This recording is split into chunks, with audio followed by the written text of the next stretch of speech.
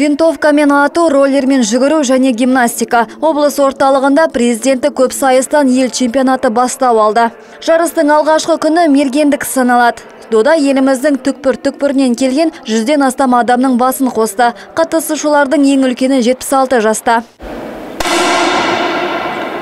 Сайыскерлерге 20 минут беріледі. Олар 10 метр қашықтықтағы 12 нысананы атулары қажет. Өкінішке қарай сыннан сүрінгендер де болды. Өңіріміздің намысын Азамат Әбішев қорғады. Жерлесіміздің тіркеген нәтижесіне көңілі толған жоқ.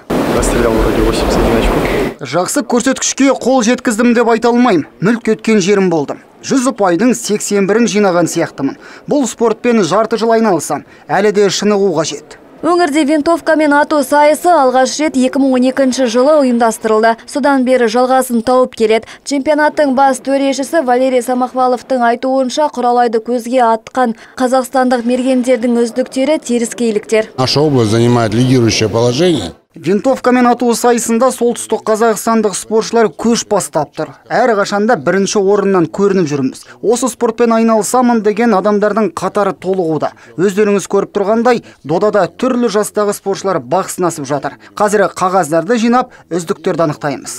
Дода тамыздың 5 жұлдызына дейін жалғасады. Жеңістің биік тұғырынан көрінгендер Ресейде өтетін әлем чемпионатына қатысады. Гүлден Сембаева, Шернияз Иманов, МТРК.